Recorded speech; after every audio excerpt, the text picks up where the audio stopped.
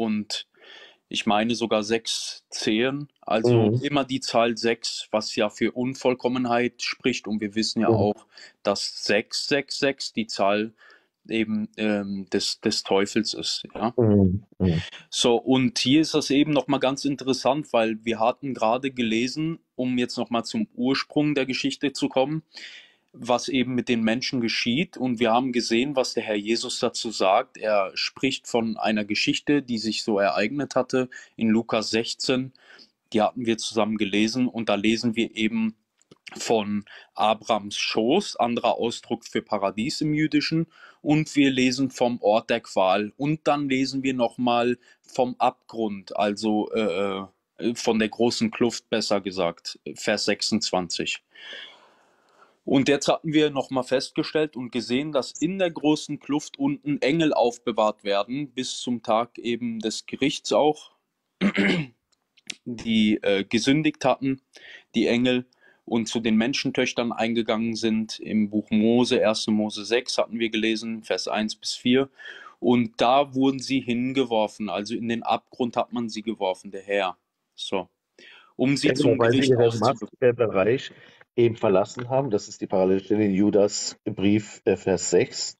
Ich lese mal schnell vor, damit wir das komplett haben. Und dass die Engel, die ihnen, die ihren Herrschaftsbereich nicht bewahrten, sondern ihre eigene Behausung verließen, für das Gericht des großen Tages mit ewigen Fesseln unter der Finsternis verwahrt hat, also im Abyssos. Das sind diese Engel, die eben ihren äh, Machtbereich verließen und sich mit den Töchtern der, äh, der Menschen eben äh, sexuell vermählt hatten. Ne?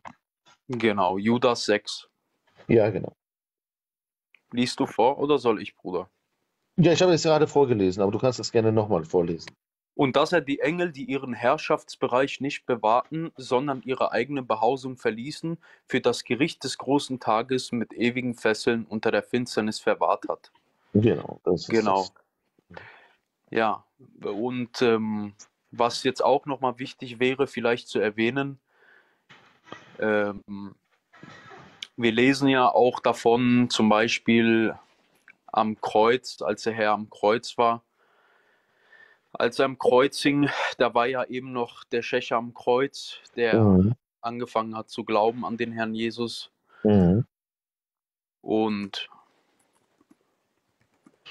da lesen wir zum Beispiel davon, dass der Herr in Lukas 23, 43 lesen wir davon zum Beispiel, Ja. ab, ab nee, Lukas 23, Lukas Kapitel 23, Vers 39 bis 43 lese ich auch nochmal. Einer der gehängten Übeltäter aber lästerte ihn und sprach, bist du der Christus, so rette dich selbst und uns. Der andere aber antwortete, tadelte ihn und sprach, fürchtest du auch dich nicht vor Gott, da du doch in dem gleichen Gericht bist. Und wie wir gerechterweise, denn wir empfangen, was unsere Taten wert sind. Dieser aber hat nichts Unrechtes getan. Und er sprach zu Jesus, Herr, gedenke an mich, wenn du in deiner, in deiner Königsherrschaft kommst. Vers 43. Und Jesus sprach zu ihm, wahrlich, ich sage dir, heute wirst du mit mir im Paradies sein. Ja. Also hier sehen wir auch ganz klar, dass der Schächer am Kreuz, der sich zum Herrn Jesus Christus bekannt hat, der gläubig geworden ist, der geglaubt Mhm. hat, Ja. ähm, das erkennen wir ganz klar anhand seiner Worte, denn Mhm. er sagte, gedenke an mich, wenn du in dein Reich kommst oder in deiner Königsherrschaft. Mhm. Und der Herr Jesus entgegnet ihm und sagt, wahrlich, ich sage dir, heute wirst du mit mir im Paradies sein. Also wir lesen auch Mhm. hier nichts von dem sogenannten Seelenschlaf oder dass der Mensch, dass der, dass der Mensch ruht bis zum Tage des Gerichts und dann erst auferstehen wird, sondern wir lesen ganz klar, der Herr sagt, heute wirst du mit mir im Paradies sein. Und ähm, wir lesen zum Beispiel natürlich im Alten Testament, lesen wir beispielsweise davon, du aber Daniel geh hin, ich meine in Kapitel 12, du aber Daniel geh hin, ich schlag mal auf eben, Daniel 12, äh, Vers 13, du aber geh hin, bis das Ende kommt, du darfst nun ruhen und wirst einst auferstehen zu deinem Erbteil am Ende der Tage. Also, an, also aufgrund diesen einen Verses oder auch andere, die es noch im Alten Testament gibt, äh, schlussfolgert man eben, dass die Seele bis zum Tag der Auferstehung ruht. Wir dürfen aber nicht den Kontext außer Acht lassen. Es ist immer ganz wichtig, dass wenn wir die Schrift lesen, dass wir sie im Gesamtzusammenhang lesen, denn ansonsten könnte es sein, dass wir uns äh, eben in Widersprüche verstricken und zwar nicht deswegen, weil das Wort Gottes sich irren würde, sondern weil wir etwas falsch machen mit unserer Herangehensweise an der Schrift und ähm, Daher ist es immer wichtig, wenn wir irgendwo andocken, sei es egal, welche Lehre ich äh, vertrete oder welche Art von Auslegung, ja. Es ist immer wichtig, wenn ich irgendwo andocke beim Bibelstudium, dann ist es wichtig, eben das nochmal zu hinterfragen und nochmal neu zu beginnen, weil das kann dann nicht richtig sein. Wenn ich jetzt genau, alle Widersprüche müssen äh, komplett also verschwinden, aufgehen, sonst ist da noch Erkenntnismangel. Ganz genau. Ja, also so, dass sich die Schrift nicht äh, widerspricht, tut sie ohnehin nicht. Das sind wir mit unserer Herangehensweise und oberflächlichem Bibelstudium. Aber hier nochmal ganz wichtig, wenn hier, wenn hier in Vers 13 in Daniel 12 steht, du aber geh hin, bis das Ende kommt. Du darfst nun ruhen und wirst eins auferstehen zu deinem Erbteil am Ende der Tage. Wenn wir so Worte lesen, dann müssen wir immer eben, wie gesagt, den Gesamtkontext der Schrift betrachten. Wir hatten gerade Lukas 16 und weitere und da haben wir ganz klar gesehen, dass äh, die Seele nicht ruht und auch nicht schläft, sondern dass man eben sehen, hören, tasten äh, kann und fühlen kann ähm, und alles, was wir heute zum Beispiel auch können. Und wenn wir lesen, dass er ruhen soll bis zum Erbteil am Ende seiner Tage, dann bezieht es sich auf den Leib. Also wenn wir vom sogenannten Schlaf lesen sollten, dann bezieht sich das auf den Leib des Menschen, nicht aber auf die Seele. Das ist auch nochmal ganz wichtig. Ja, Bruder, ähm, ich bin soweit ja. fertig. Also das ist eigentlich alles. Ich, ja, hast du gut gemacht. War alles, war alles korrekt. War super. Super, super. Ja, ich weiß allerdings. wenige, wenig, ne? auch auf TikTok leider, die eben sauber auch diese, diese Dinge sauber, feind, also, sauber auseinanderhalten und auch die, die genau die richtigen Stellen miteinander verbinden im Geist. Ja, findet man sehr selten. Deswegen ist das schon eine ganz gute Sache, was du gemacht hast. Dankeschön, Bruder. Dem Herrn alle Ehre. Ähm, ja, was mir eben, was mir eben auch nochmal aufgefallen ist, wenn ich jetzt gerade mal in dieser Runde bin, liebe Geschwister, ähm, ich kann euch wirklich nur raten, also sich mal mit den sogenannten Heilszeiten auseinanderzusetzen oder mhm. den, den, so, dem sogenannten äh, Dispensationalismus. Es mhm. geht eben darum, dass dieser biblisch ist. Wir lesen zum Beispiel davon jetzt für viele, die, die können mit dem Wort nichts anfangen, kann ich verstehen, ist ein Zungenbrecher. Ja. Ja. Aber es ist auch nochmal wichtig an dieser Stelle zu betonen, einfach nur, dass ihr da mal rein reingeht und vielleicht mal tiefer in die Materie. Der Apostel Paulus selbst war Dispensationalist und damit meine ich zum Beispiel Kolosser 1,3. Es ist ja. einfach nur mal so ein Gedanke, den ich eben mal teilen wollte noch eben am Ende, weil viele eben mit dem Wort Dispensationalismus nichts anfangen können. Das ist die sogenannte Lehre von der Haushalterschaft. Davon lesen wir, Bruder, ähm, Davon lesen wir beispielsweise in Epheser 3, Vers 2. Da spricht mhm. der Apostel Paulus und sagt, ihr habt ja gewiss von der Haushalterschaft der Gnade Gottes gehört, mhm. die mir für euch gegeben worden ist. Oder in ja. Kolosser 1, 25, deren Diener bin ich geworden, gemäß der Haushalterschaft und so weiter. Genau. Dieses Wort Haushalterschaft meint im Griechischen Ökonomia und im Ökonomie. Englischen, bitte? Ja, genau, äh, Ökonomia, genau. Richtig. Und im Englischen, Lateinenglischen sagt man Dispensation. Also mhm. wenn wir jetzt zum Beispiel die King James Version aufschlagen oder andere englische Bibelübersetzungen äh, oder die eben, wie gesagt, schon gerade erwähnt, die King James Version, das ist die englische Schlachter 2000, sage ich immer. Äh, da lesen wir zum Beispiel an diesen Stellen, die ich gerade genannt hatte, Epheser 3, 2, Kolosser 1, 25, vom sogenannten, von der sogenannten Dispensation. Das ist eben das, was ich gerade gesagt hatte. Und warum ist das so wichtig? Weil eben der Bruder Reza auch gerade nochmal angemerkt hatte, eben das mit der Teilung, die ich da mache, die wir machen, das mache ja nicht nur ich, sondern auch der Bruder Reza. Es ist eben so, dass äh, wir uns als Arbeiter, ähm, lesen wir zum Beispiel in, äh, in, in 2 Timotheus 2,15, lesen wir nochmal davon, strebe eifrig danach schreibt der Apostel Paulus äh, seinem Gefährten Timotheus, strebe eifrig danach, dich Gott als bewährt zu erweisen, als einen Arbeiter, der sich nicht zu schämen braucht, der das Wort der Wahrheit recht teilt. Und das ist eben das, was der Bruder gerade angemerkt hatte. Es ist wichtig, also hier im Griechischen übrigens ähm, steht auch nochmal, dieses Recht teilen meint richtig unterscheiden und gerade schneiden. Das ist das, was wir tun. Es ist wichtig zu unterscheiden. Warum sage ich das? Weil es gibt auch ähm, heute viele Irrlehren, die entstehen gerade deshalb, weil man die sogenannten Heilszeiten oder die sogenannte Lehre von der Haushalterschaft Gottes nicht beachtet. Sprich, es gibt jetzt heute Menschen beispielsweise, die nehmen sich ein paar Verse aus dem Alten Testament. Ich sage jetzt einfach mal 2. Mose 20, da haben wir die zehn Gebote. Erstmals, da ist die äh, Gesetzeszeit, die beginnt dort in 2. Mose 20. Da lesen wir zum Beispiel in einem Gebot, du sollst den Sabbat heiligen. So das war's. Das lese ich jetzt, das nehme ich so an. Und dann haben wir die sogenannten Sabbatisten, Siebentags-Adventisten. Dann haben wir ein MCM und viele andere Irrlehrer.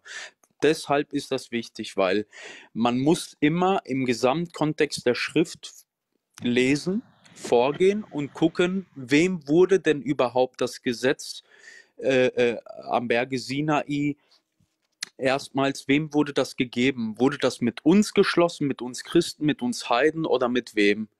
Und hier ist dann wichtig eben das, was wir gerade gelesen hatten, das Wort Recht zu teilen, zu unterscheiden, gerade zu schneiden, wie auch immer, weil es ist insofern wichtig, weil ansonsten entstehen Irrlehren.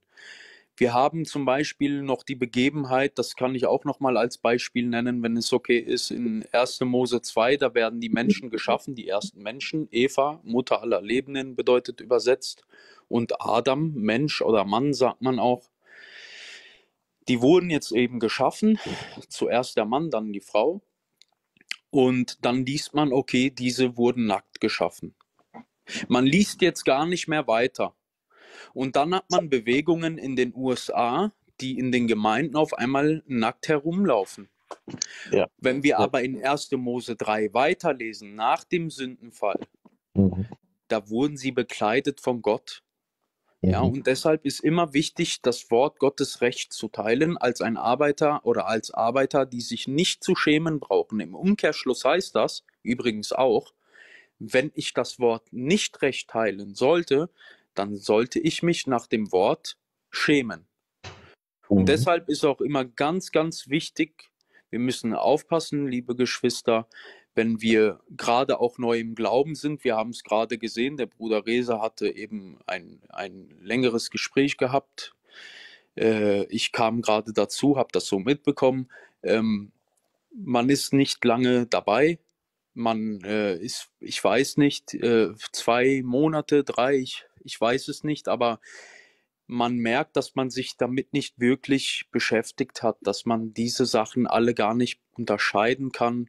Und da ist es wichtig, bevor wir ans Mikrofon gehen und überhaupt lehren, ähm, dass wir erstmal uns mit den Grundlagen des Wortes Gottes beschäftigen. Und das mhm. ist ja das, was, was mir auch aufgefallen ist, besonders hier in TikTok. Äh, man kennt noch nicht einmal die biblischen Grundlagen ja, traut sich hoch ans Mic und da ist es aber, da wird es gefährlich, weil man hat eine größere Zuhörerschaft, ähm, Zuschauer, die das annehmen, die da, da, vielleicht ins, ins Wanken geraten, ins Zweifeln mhm. kommen und sowas. Mhm. Und daher immer prüft euch selbst, ähm, wir müssen, ein Baum wächst nicht von heute auf morgen, sage ich immer. Du hast gerade das Gleichnis vom Sämann gebracht, Bruder, mhm. äh, eben mit dem Samenkorn im guten Erdreich.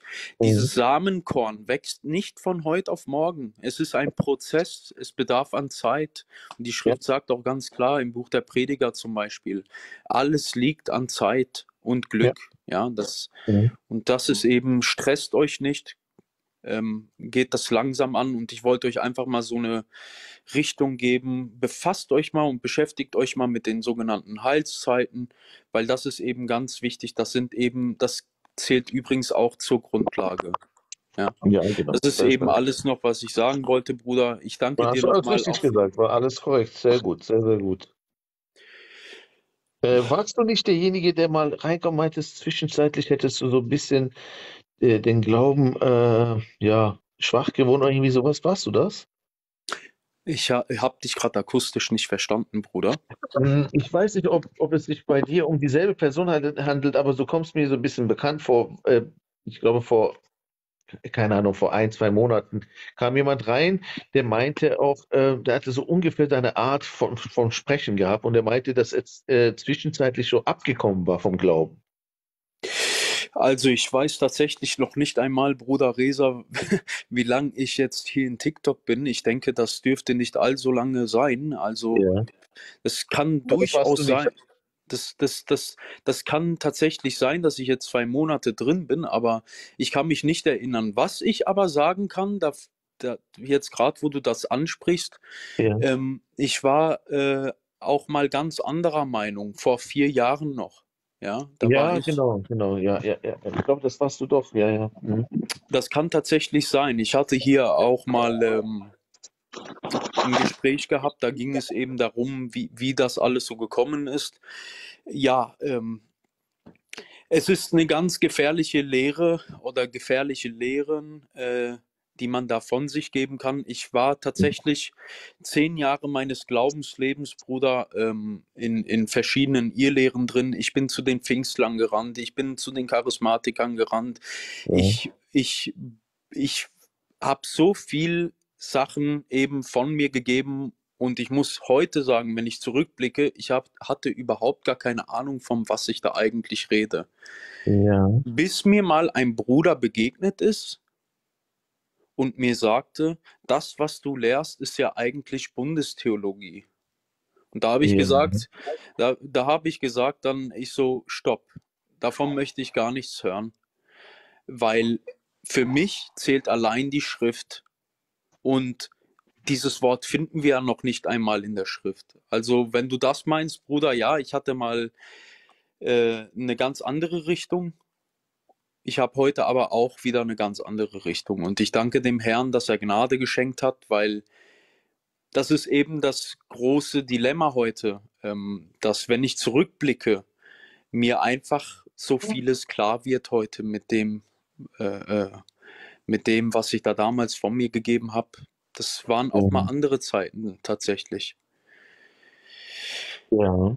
Ja, und wie bist du denn dann mit, mit, dem, mit dem Dispensationalismus in Berührung gekommen? Also es ist eben so, ähm, Bruder, wenn du mich gerade fragst, dann mache ich das gerne, dass ich hier auch mhm. mal meine Geschichte so ein Stück weit erzähle. Erstmal ja. meine Person, ich halte nicht viel von mir.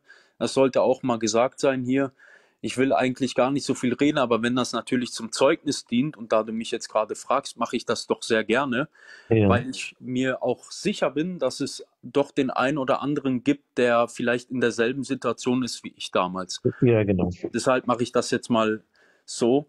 Ich beginne mal ein bisschen weiter zurück. Ähm, ich bin eigentlich recht früh mit dem sogenannten Dispensationalismus in Berührung gekommen. Ich meine, es gibt ja gewisse Bibellehrer auch im Internet, die sind nicht äh, allzu unbekannt. Wir haben zum Beispiel äh, den Bruder Roger Libby, äh, der oder den Abdul Memra, die auch sehr oft von dem sogenannten Dispensationalismus gesprochen haben. Und ich selbst muss aber sagen, ähm, mir hat das Wort gar nicht gefallen. Ich habe es gar mhm. nicht gern gehört, weil ich, mhm. weil ich wusste, Moment mal, ähm, das ist für mich was ganz Neues. Ja, das ist erstmal mhm. für mich was ganz Neues. Das kennt so die Schrift nicht.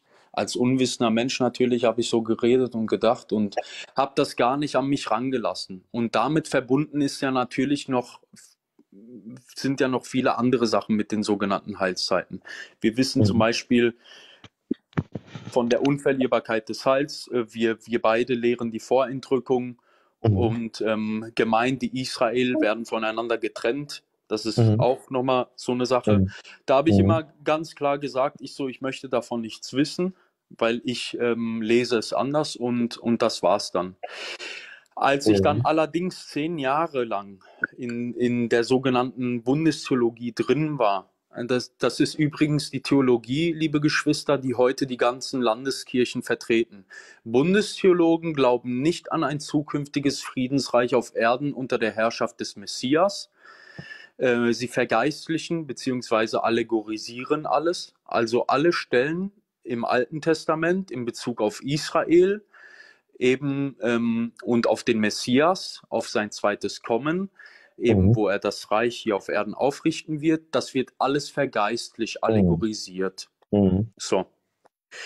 Und ähm, das ist eben ganz gefährlich, weil da gibt es dann auch keine Grenze. Ich kann aus der Kuh auf einmal einen Elefanten machen, weil es ist ja alles geistlich zu verstehen. Und deshalb ist es ganz gefährlich und kann wirklich davor nur warnen. Das habe ich eben selbst zehn Jahre vertreten.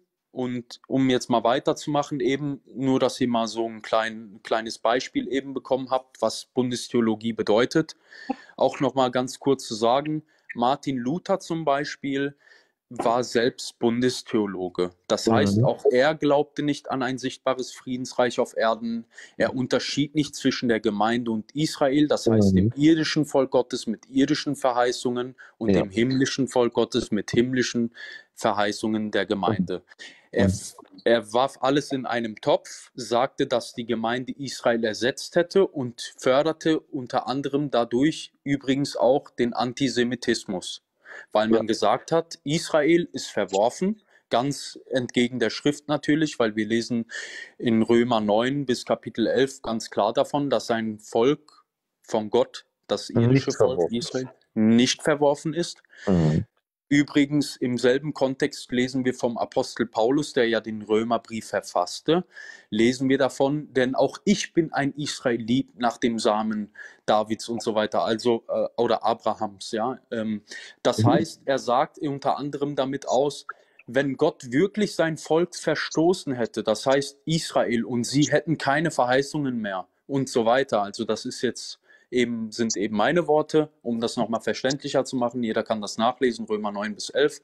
Sagt er, denn auch ich bin Israelit, das heißt, er identifiziert sich ganz klar mit Israel als Jude und sagt, wenn Gott wirklich sein Volk verstoßen hätte, dann wäre ich nicht zum Apostel berufen worden für die Heiden. Ungefähr, ja, das sind jetzt eben die Worte. Ja, ja genau. Bundestheologie, Ersatztheologie, ne? Genau, ich war ganz kurz weg. Genau. Äh, hört man mich noch, Bruder? Ich habe gerade einen Anruf ja, bekommen. Ich höre hör dich.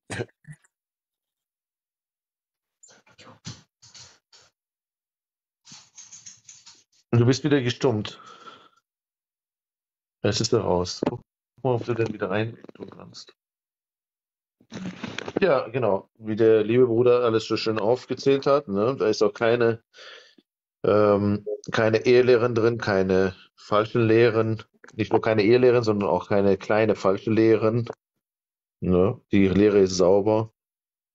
Keine ähm, krankmachende ähm, Lehren drin, die so ähm, einen im Glauben äh, stagnieren lassen, sogar zum Schiffbruch im Glauben führen würden. Ne? Alles sauber. So sollte es sein. Ne? Aber das braucht auch manchmal Zeit, bis der Heilige Geist dir eben äh, die Augen richtig öffnet und dich dann auch führt. Du musst dich auch führen lassen. Wenn der Heilige Geist dich in der Lehre führt und äh, sozusagen überführt, dann darfst du nicht hochmütig sein und denken, jetzt habe ich da zwei Jahre lang etwas Falsches geglaubt. Das kann ich nicht einfach über ein Bord werfen, da habe ich keine Zeit für und da bin ich zu faul dafür. So können wir nicht vorgehen. Wenn der Heilige Geist dich ins Licht stellt und die Anhalt der Schrift, die genau erklärt, wie die Sache zu verstehen ist, dann darfst du nicht hochmütig sein. Und dann musst du dich unterordnen und eben dann wird der Heilige Geist dich auch dann in die Wahrheit leiten. Ja, und da bist du ja wieder Stunde der Wahrheit. Ach so, äh, ja, Bruder. User 529. Äh, Sekunde, Bruder, du bist auch schon sehr lange drin. Möchtest du was sagen? Ich wollte die Unterhaltung erstmal nicht unterbrechen.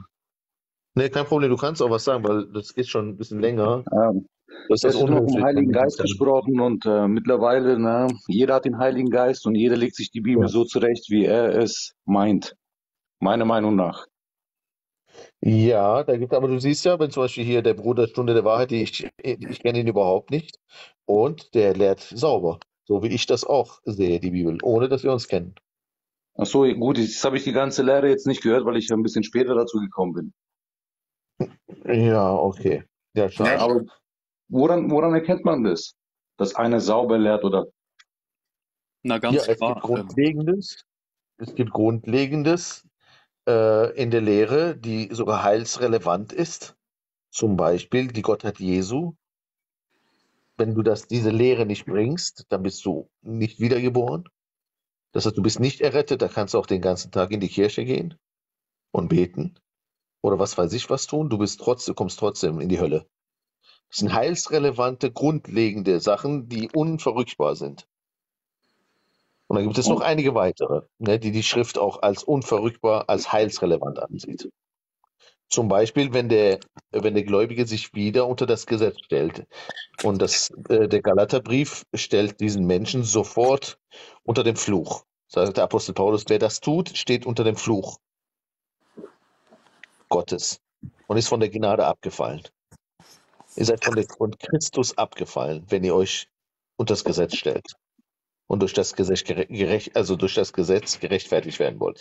Die sogenannte Judaisierer, ja, die einem sagen, ja, wir müssen den Sabbat halten, wir müssen die alttestamentarischen Ge- Speisegebote halten und so weiter. Das sind Judaisierer. gut? Und, und, Also- und, ja. Sag mal so, ne, durchs Gesetz wird ja keiner gerettet. Ja, gut, aber wir haben heutzutage so viele Leute, die erzählen, dass wir äh, die durch das Gesetz halten erst errettet werden. Ja, Aber- YouTube, YouTube ist voll davon. Gut, ich sag mal, ich wäre auch der Meinung, dass äh, man das Gesetz halten sollte. Welches, also wie, welches Gesetz? Das mosaische Ja. Gesetz? Das ist jetzt, wie bitte? Das mosaische Gesetz? Naja, es gibt eigentlich kein mosaisches Gesetz. Also alles, alles, wie der Bruder gesagt hat, eine, eine Mischmasch aus allem Möglichen. Nein, nein, weil das Gesetz von Mose, das hat sich ja nicht Mose ausgedacht, das ist ja Gottes Gesetz. Ja. Ne? Und das ist ja nicht irgendwas, das Mose sich ausgedacht hat, das hat ihm Gott gesagt. Mit wem Ja. wurde denn, mit wem wurde denn der alte sowie der neue Bund geschlossen? Sprich, wem wurde das Gesetz überhaupt gegeben? Christen, Ja. Heiden oder dem Volk Israel? Nein, nein, das Gesetz wurde ja dem Volk Gottes gegeben. Zu Also Anfang. dem, g- genau, also dem irdischen Volk Gottes, wir sprechen von Israel, dem wurde das Gesetz gegeben. Das lesen wir ganz klar in den, im, im Buch Mose, im zweiten Mose, im dritten, vierten, fünften Mose lesen wir davon. Ganz klar, ausschließlich und nur dem damaligen Volk Israel. So, die Gemeinde, sprich das, was wir heute haben seit Pfingsten, seit 2000 Jahren, Apostelgeschichte 2, da wurde ja die Gemeinde erstmals ins Leben gerufen. So, wir lesen von der Gemeinde in, in Apostelgeschichte 2, dass an einem Tag 3000 Seelen hinzugetan wurden. Das heißt, Christen gibt es erst seit Apostelgeschichte 2. So, jetzt, wie kann ich zu der Annahme kommen, dass wir heute das Gesetz halten müssen, wo doch ganz klar das Gesetz dem Volk Israel gegeben wurde. Die Gemeinde gab es da noch nicht. Sie war ein. Geheimnis, verborgen in Gott, sagt der Apostel Paulus. Ihm wurde übrigens das Geheimnis der Gemeinde erstmals geoffenbart, genauso wie das der Entrückung. Das heißt, wir suchen vergeblich nach der Gemeinde im Alten Testament, denn die gab es da noch nicht. Sie war verborgen in Gott. Verstehst du? Und heute das, was für uns relevant ist, ist das Gesetz des Christus. Ich möchte dir ein Beispiel nennen. Wir lesen zum Beispiel davon, dass man nicht stehlen soll. Ja, eines der zehn Gebote, 2. Mose 20. So. Das Gesetz des Christus, das ist viel schärfer als das Gesetz des alten Bundes am Berge Sinai, was dem Volk Israel gegeben wurde. Denn es heißt, wer gestohlen hat, der stehle nicht mehr. Oder du sollst nicht töten. Der Herr Jesus sagt, er verschärfte das und sagte, wer seinen Bruder auch nur hasst, der ist ein Totschläger. Oder Und du sollst nicht ich die Ehe kurz brechen. unterbrechen? Ja, klar. Naja, ich denke mal, im Alten Testament war es auch schon so gemeint, nur die Leute haben es nicht verstanden. Na, weil es war ja auf zwei steinernen Tafeln geschrieben und jetzt ist es ja auf unser Herz, oder sollte es ja auf unser Herz geschrieben sein. Ja, Da ja, steht, aber das ist ja der neue Bund. meint, ist, dass im alten Bund gereicht hätte, wenn du jemanden nicht physisch getötet hättest. So hättest du das Wort erfüllt im Alten Testament. Ja, Aber aber so ist es ja nicht. das reicht jetzt ab diesem Zeitpunkt nicht mehr. Denn wenn du schon in deinem Geist, in deinen Gedanken jemanden hast, dann hast du schon gemordet. Du bist ein Mörder. Das heißt, du musst es gar nicht physisch ausführen. Vor mir bist du schon jetzt ein Mörder, wenn du in deinem Gedanken sogar einen, jemanden hast. Das heißt, wie der Bruder gesagt hat, die Gesetze werden nochmal auf eine höhere Stufe angehoben.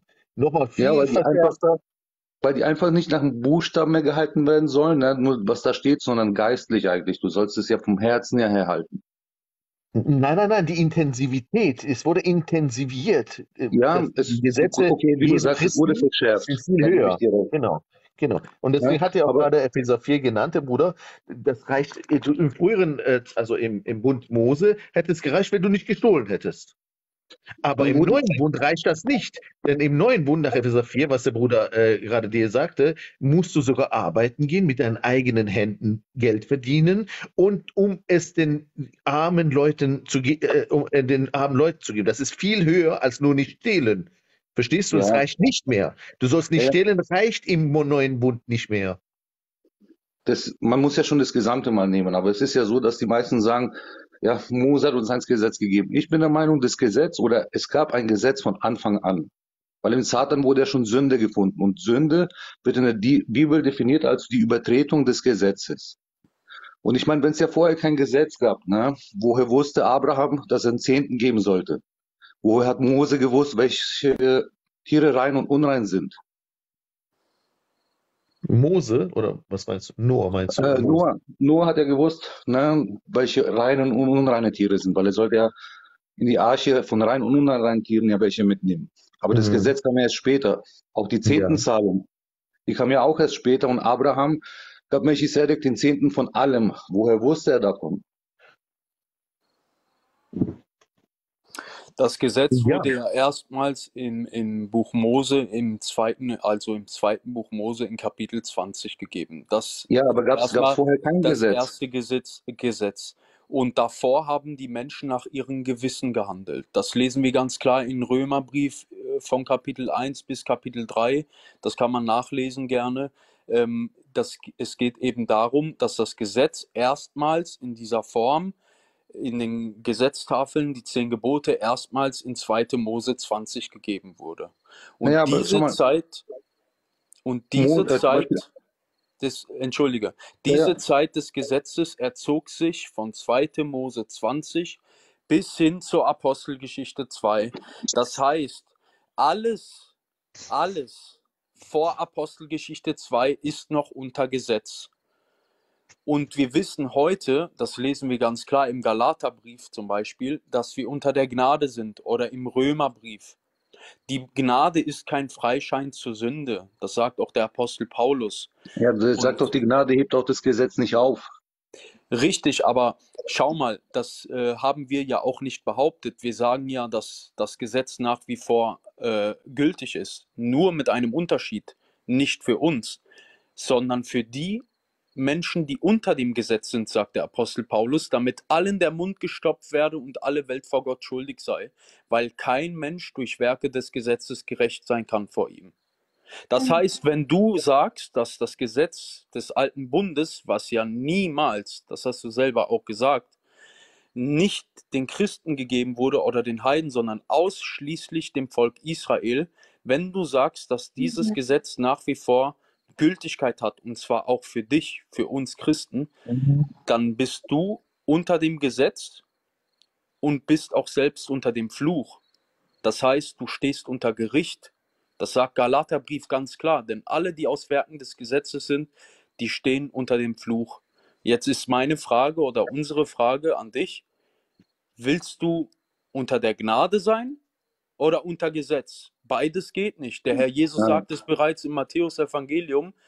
In Matthäus Kapitel 6 sagt er zum Beispiel, darf ich das einmal vorlesen noch ganz kurz? Ja, bitte. So, Moment. Ich lese einmal. Ähm, das lesen wir in Matthäus 6. So, äh, in Matthäus 9, entschuldigt. Matthäus 9, Vers 17. Jetzt schau mal. Man füllt auch nicht neuen Wein in alte Schläuche, sonst zerreißen die Schläuche und der Wein wird verschüttet und die Schläuche verderben, sondern man füllt neuen Wein in neue Schläuche, so bleiben beide miteinander erhalten. Das ist Gesetz und Gnade. Wenn man das miteinander vermischt, dann ist es ganz gefährlich. Der Herr Jesus spricht auch davon, dass ein wenig Sauerteig den ganzen Teig durchsäuert. Sauerteig steht in der Bibel, ist, ist äh, eine Bild, bildhafte Für Rede ja. für Irrlehren. Ja? Also das heißt, du kannst jetzt nicht kommen und meinen, das Gesetz des alten Bundes, das ja ausschließlich dem Volk Israel gegeben wurde, ist heute gültig für uns. Wo steht das? Ich meine, in den Lehrbriefen nach der Apostelgeschichte, ja, wir dürfen ja nicht im Matthäusevangelium stehen bleiben, sondern ich Mhm. schreibe immer zwei Wörter ganz groß. Weiter und lesen. Und wenn wir aber jetzt nur einen Teil lesen, dann ist das nicht die Wahrheit, denn es steht geschrieben, dass die Summe seiner Worte, das heißt der Worte Gottes, die Wahrheit ist. Die Summe, Mhm. nicht ein Teil. Ja, das heißt, wir müssen das im Gesamtzusammenhang der Schrift betrachten. Wir müssen die Heilszeiten richtig voneinander unterscheiden. Das ist das, was wir von Anbeginn an hier äh, schon hatten. Ich meine sogar bevor du reinkamst. Und wir hatten eben das auch schon mit Sabbat und sowas. Äh, Das ist alles eins, ja, äh, Gesetz. Ähm, und deshalb ist es wichtig, das zu unterscheiden. Du wirst ansonsten äh, Gefahr laufen, äh, äh, irre zu gehen. Und zwar so, dass du nicht mal mehr weißt, was ist jetzt richtig und was nicht, sondern du wirst total durcheinander sein, weil du beides miteinander vermischen wirst. Und Das ist jetzt äh, viel gesagt. Ich sag, ich weiß jetzt nicht, mit welchen Leuten du gesprochen hast und wie die zu dem Ganzen stehen. Also ja, ich sage, ja, für mich ist der alte Bund, ne, das sind die zehn oder die sind die steinernen Tafeln.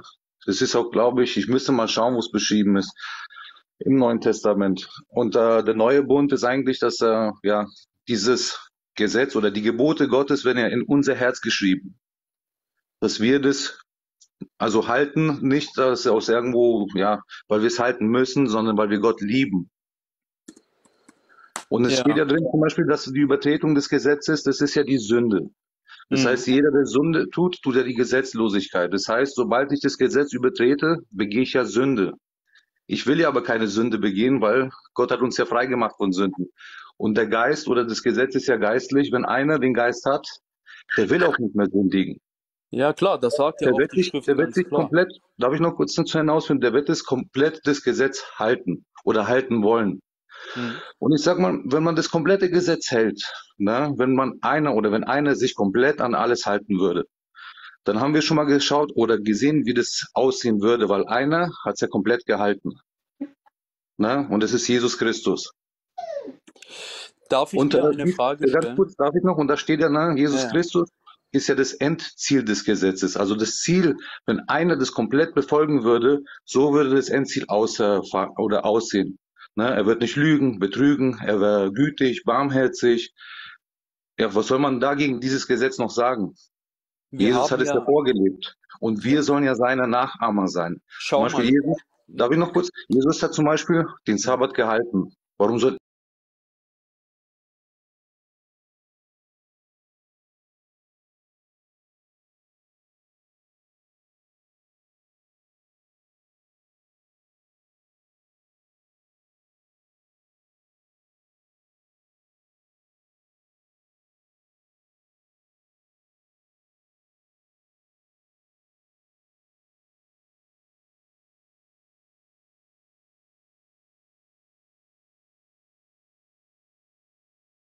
ja, Matthäus? siehst, ist schon falsch. Siehst, ist schon falsch, was du sagst. Und zwar deshalb, weil du die Heilszeiten nicht voneinander unterscheidest. Das ist eben das, was wir hatten. Äh, wer die Heilszeiten voneinander nicht voneinander richtig unterscheidet und das Wort recht teilt, das, was du offenbar nicht tust, der geht irre. Das ist ganz klar. Schau mal. Ich möchte dir einmal zeigen, wann der neue Bund beginnt, also der, das Neue Testament. Ach so, der Und neue zwar- Bund beginnt mit dem Tode Jesu. Ja, richtig. Das heißt, alles, alles in den Evangelien ist noch unter Gesetzeszeit. Der Herr Jesus war beschnitten am achten Tage, hielt den Sabbat, aß kein Schweinefleisch, sprich er hielt die Speisegebote, als Jude, weil er Jude war, unter Gesetz, Galater 4,4. Er wurde unter das Gesetz getan und erfüllte es. So, er erfüllte es. Mit dem Werk des Herrn Jesus am Kreuz, hast du gerade selber gesagt, ist der neue Bund in Kraft getreten. Neuer Bund, auch übersetzt Neues Testament. Das heißt, das Neue Testament, es, in, es interessiert nicht, was auf dem Buchdeckel steht, sondern was der Inhalt sagt. Das ist wichtig. So. Und wenn wir jetzt wissen, dass der Herr Jesus unter Gesetz stand und das Gesetz erfüllte, dann dürfen wir nicht vergessen, dass die Evangelien noch unter Gesetz sind. Das heißt, von 2. Mose 20 bis hin zu allen vier Evangelien, Matthäus, Markus, Lukas, Johannes, ist noch unter Gesetzzeit. Und deshalb ist es wichtig, dass wir in den Lehrbriefen, das heißt nach der Apostelgeschichte, dann kommen ja die ganzen Briefe, Römerbrief und so weiter, da ist es wichtig, unsere Lehren rauszuziehen, weil das ist der, das ist eben die Gnade, die Gnadenzeit seit Apostelgeschichte 2. In Apostelgeschichte 2 begann die Gemeindezeit und die Gemeindezeit ist auch automatisch die Gnadenzeit. Da begann sie. Und Genau, mit der daher ist es Ausgießung wichtig, des Heiligen Geistes. Ne? Die Ausgießung des Heiligen Geistes ist ganz, ganz wichtig, die, die den, sozusagen in der Gemeinde wohnt, der Heilige Geist. Davor, davor äh, konnte ja der, keine, war keine Gemeinde, deswegen konnte der Heilige Geist auch noch nicht ausgegossen. Erst nachdem der Herr aufgefahren ist, auferstanden ist und so weiter, erst dann konnte die Gemeinde beginnen mit der Ausgießung des Heiligen Geistes. Genau. Wir lesen Also- davon, was du gerade sagst, Bruder. In Johannes 7, 39 lesen wir davon, solange der Herr Jesus auf Erden war, konnte der Geist nicht kommen. Das Kommen. heißt, ein Christ konnte gar nicht äh, äh, entstehen. Ja, Ja, ja. Vers 39 lesen wir. Das sagt also äh, ab Vers 37, aber am letzten, dem großen Tag des Festes, stand Jesus auf, rief und sprach, wenn jemand dürstet, der komme zu mir und trinke. Wer an mich glaubt, wie die Schrift gesagt hat, aus seinem Leib werden Ströme des lebendigen Wassers fließen. Vers 39, das sagte er aber von dem Geist, den die empfangen sollten, welche an ihn glauben. Denn der Heilige Geist war noch nicht War noch da, nicht weil. Jesus noch nicht verherrlicht war. Das heißt, solange der Herr auf Erden war, konnte der Geist nicht ausgegossen werden, sondern wir lesen in Johannes 14, 16 und in Johannes Kapitel 16 lesen wir auch nochmal davon, dass er den Geist erst noch senden wird. Mhm. So, und das geschah zu Pfingsten. Das heißt, wir können nicht, wie du sagst, uns lehren, wir müssen aufpassen, wenn wir sagen, wir nehmen uns den Herrn Jesus als Vorbild und weil er den Sabbat hielt und weil er beschnitten war und weil er die Speisegebote hielt, als Jude, denn er war Jude und kein Christ, sondern Jude, unter Gesetz getan. Und er besuchte übrigens auch als Jude die Synagoge. Das, was du zum Beispiel nicht tust, gehe ich von aus.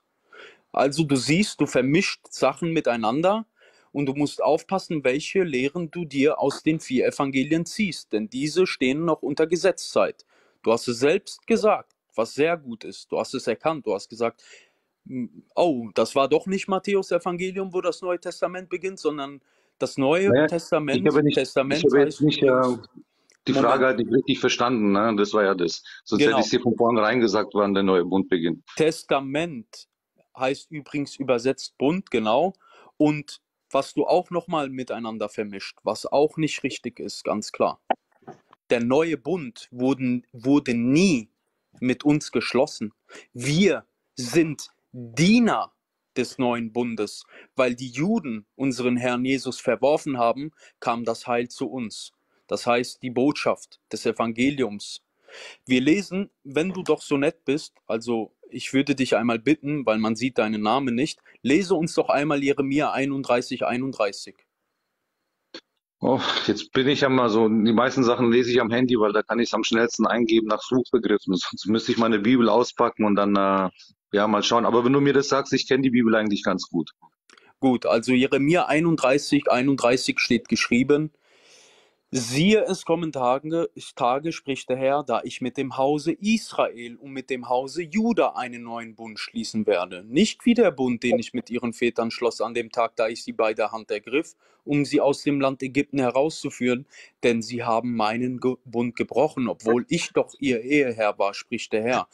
Vers 33, sondern das ist der Bund, den ich mit dem Hause Israel nach jenen Tagen schließen werde, spricht der Herr. Ich will mein Gesetz in ihr Innerstes hineinlegen und es auf ihre Herzen schreiben, und ich will ihr Gott sein, und sie sollen mein Volk sein. Und es wird keiner mehr seinen Nächsten und keiner mehr seinen Bruder genau lehren und sagen, erkenne den Erkenne Herrn. den Herrn. Denn sie werden mich alle kennen, vom kleinsten bis zum größten unter ihnen, spricht der Herr, denn ich werde ihre Missetat vergeben und an ihre Sünden nicht gedenken. Frage. Spricht es von der Gemeinde oder von Israel? Ah, ja, es gibt jetzt wieder diese Auslegung, es gibt ja zwei Israel, das äh, irdische und das geistliche. Nee, haben wir auch nicht behauptet, dass es zwei Israel gibt. Es gibt ein Israel, das heißt ein irdisches Volk Gottes und ein himmlisches Volk Gottes, die Gemeinde. Darf ich dich fragen, weißt du, wie man zu Israel gehörte? Ähm, meinst du früher im Alten Bund? Ja, wie gehörte man oder heute noch, wie gehört man zu Israel? Also nach dem Alten Bund, wenn du dich dem äh, Volk angeschlossen hast, hast dich beschneiden lassen und dann musstest du auch das Gesetz halten oder den, ihre Lebensgebräuche. Zu Israel gehörte man, sprich, man war Jude und wurde eben als solchen geboren.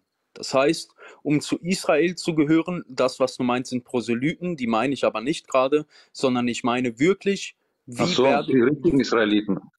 Ja gut, Bitte? die bestehen ja aus zwölf Stämmen. Ne? Die Juden sind ja nur der Stamm Juda und der Stamm Benjamin. Die anderen Ja. sind ja irgendwie verloren gegangen. Da weiß man ja nicht. Das könntest du auch, du könntest auch ein Israelit sein. Nee, Moment, Moment. Das, was ich eigentlich meine, ist was anderes. Du kennst den Unterschied zwischen Gemeinde, himmlischem Volk Gottes und Israel, irdischem Volk Gottes nicht. Schau mal, zum Israel, zum irdischen Volk Gottes, Israel, gehörte man durch Geburt. Zum himmlischen Volk Gottes der Gemeinde gehört man durch Wiedergeburt.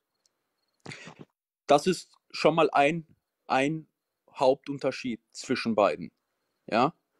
Dann lesen wir zum Beispiel davon, dass die Priesterschaft Aarons, äh, die konnten, also die Priester im Alten Testament, die mussten aus der Familie Aarons kommen, aus, aus dieser Linie, und dann konnten sie Priester werden. Im Neu, also im, im, wir lesen jetzt zum Beispiel in den Briefen aber, dass die Gemeinde, das himmlische Volk Gottes, zu Priestern gemacht wurden durch den Herrn Jesus. Also du siehst, es sind da gewaltige Unterschiede zwischen beiden. Ich kann dir noch 20 andere Unterschiede nennen, aber wir bleiben mal hier, wir bleiben mal hier, wo wir eigentlich waren, nämlich Jeremia 31, 31. Hier Darf lesen wir ganz klar, sagen? ja, kleinen Moment, ich führe das Ja. eben zu Ende. Wir lesen ganz klar, dass der, dass der neue Bund mit dem Hause Israel und mit dem Hause Juda geschlossen wurde. Ebenso auch der alte Bund. Deshalb fragte ich dich, du hattest mir nämlich nicht darauf geantwortet, meint es die Gemeinde? Die Antwort bekam ich nicht. Natürlich meinte es nicht die Gemeinde, denn die Gemeinde war ein Geheimnis, das dem Apostel Paulus erstmals geoffenbart wurde. Deshalb sagte ich, die Gemeinde finden wir im Alten Testament nicht. Das, was du lehrst, das ist Bundestheologie. Ihr meint, dass die Gemeinde Israel ersetzt hätte und es gibt heute nur ein Volk Gottes.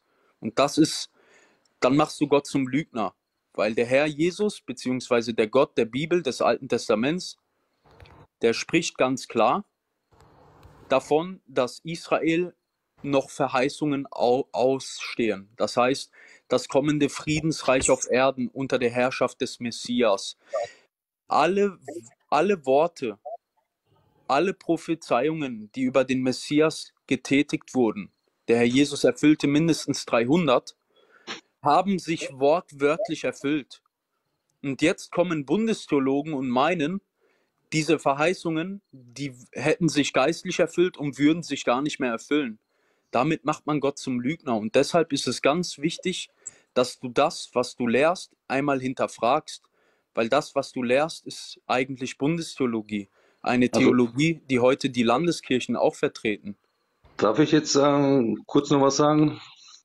Also du hast sehr, Selbstverständlich. sehr, viel geredet und ich lehre eigentlich nichts. Ich äh, lehre auch nicht, wer zum Volk Gottes gehört oder, weil da habe ich mir keine Gedanken gemacht. Ich bin der Meinung, ne, wenn einer, Ja, also aber wenn du Christus dir nachfolgt, Gedanken machst, warum Nachfolger Christi. du dann? Das ist gefährlich für die Zuhörerschaft. Weißt du, und das ist eben das, was Ja, ich aber du musst ja nirgendwo dazugehören. Wenn du Gott annimmst als Sünder, musst du ja Ja. Jesus Christus annehmen als deine Löser. Ob irgendeiner zu irgendeinem Volk gehört oder so, ne, da, da steht ja drin, Gott, da ist kein Ansehen bei der Person. Ob Jude oder Grieche, das ist eigentlich äh, nebensächlich. Darf Ne, ich, wenn einer schau mal, schau mal, aber bekennt, vor dem Herrn hm, umkehrt, bereut, ne, sich den Herrn praktisch anschließt, dann wird er gerettet werden. Ja, aber das ist nicht so einfach. Nein, es gibt sehr, sehr, sehr viele Leute, die in Irrlehren stecken, die sagen, oh, wir haben uns vor dem Herrn niedergeworfen und sind zu ihm zu, äh, umgekehrt und sind Ja, das trotzdem verloren. Gut, da hast du recht. Ich habe war so eine Kurzversion. Ne? Also meine Ja. Meinung ist ja auch, es ist ein bisschen mehr gehört dazu.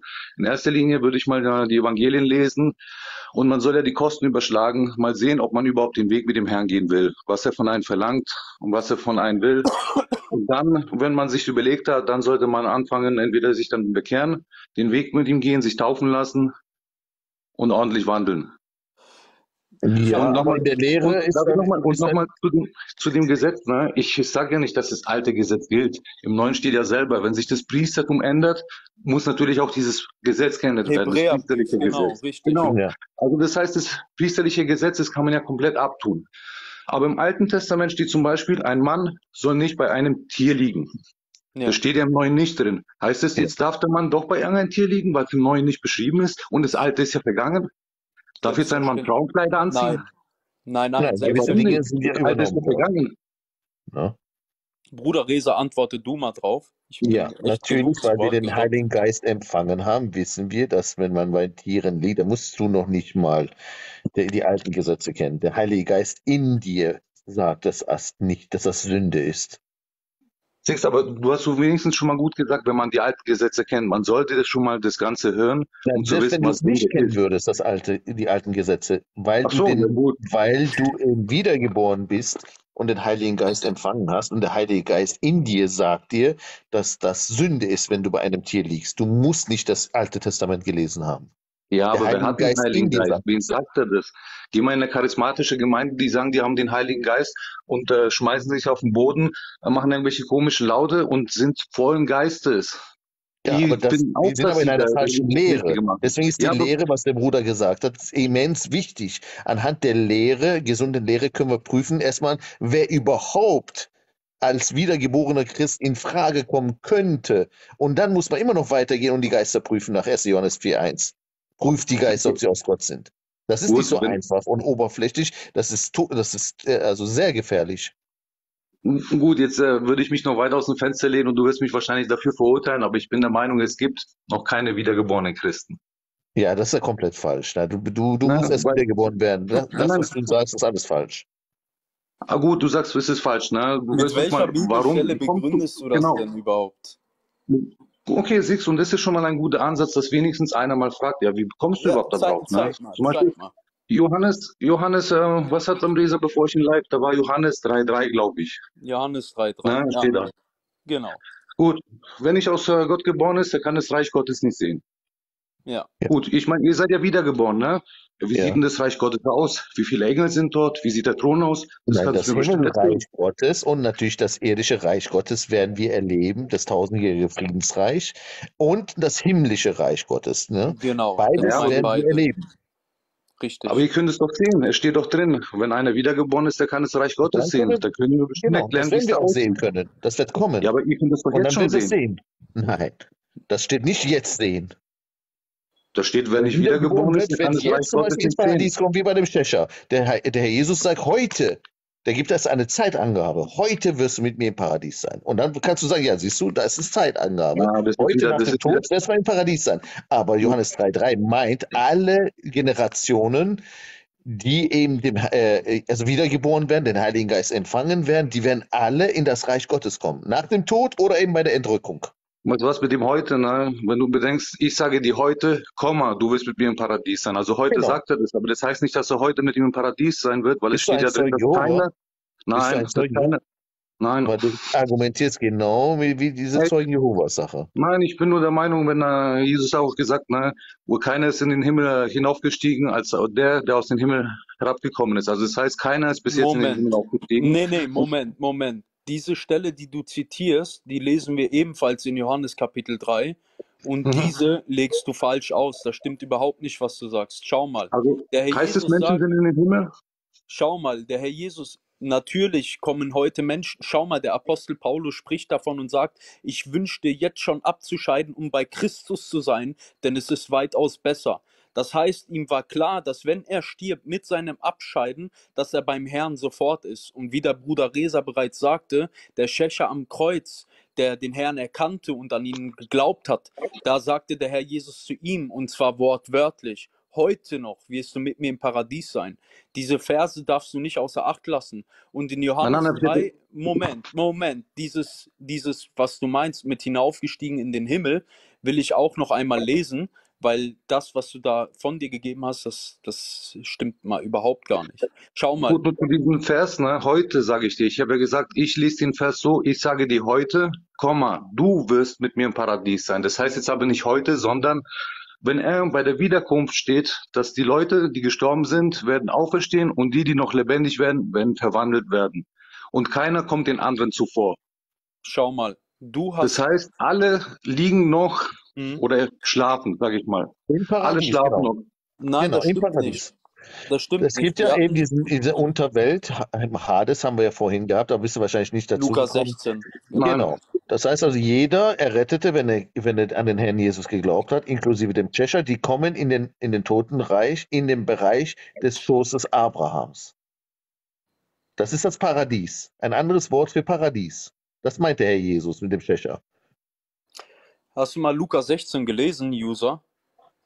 Äh, Lukas ja, also 16, Lukas Ich sage, 16, ich kenne die ganze 19 Bibel. Wenn du, wenn du anfängst, es äh, zu lesen, dann kann ich meistens den Satz noch vollenden.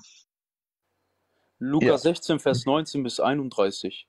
Mhm. Das, da spricht der Herr Jesus ganz klar davon, dass zwei Menschen starben. Einmal ein armer Mann namens Lazarus Genau, einmal und ein der reicher Reiche. Mann.